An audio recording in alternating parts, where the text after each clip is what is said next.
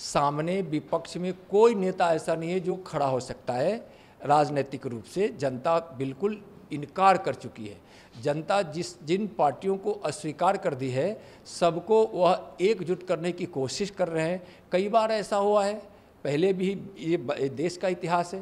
कांग्रेस ने किस प्रकार से चौधरी चरण सिंह जी को, चंद्रशेखर जी को, देवगौड़ा जी को, सबको किस प्रकार से धोखा दी है? कांग्रेस किसी इन पार्टियों को बढ़ते हुए न देखना चाहते हैं, न कभी देखी है।